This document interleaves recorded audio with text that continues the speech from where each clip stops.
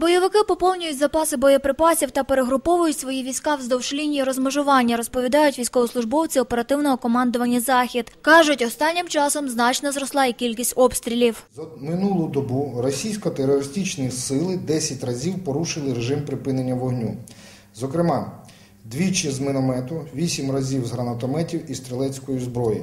Наші опорні пункти були обстріляні із напрямків населених пунктів Сміло, Пришип, Первомайськ, Весела Гора. Зафіксували військовослужбовці і два прольоти ворожих безпілотників. Бойовики шукають наші слабкі місця. Близько 21-ї вечора зафіксовано проліт безпілотника в районі Тарабільська, а о 22-й – Сєвєродонецька.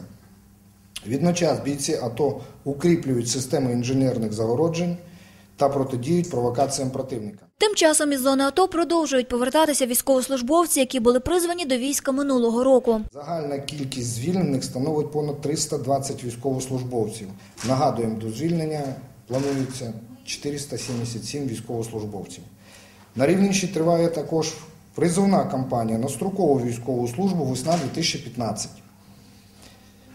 На сьогодні вже відправлено до військових частин Збройних сил України та інших військових формувань України понад 266 юнаків із 600 запланованих до призову. Розповіли військовослужбовці і про законодавчі зміни у військовій сфері. Нещодавно кілька нових законів підписав гарант країни Петро Порошенко. Юлія Бублей, Вадим Дроздюк. Випуск новин.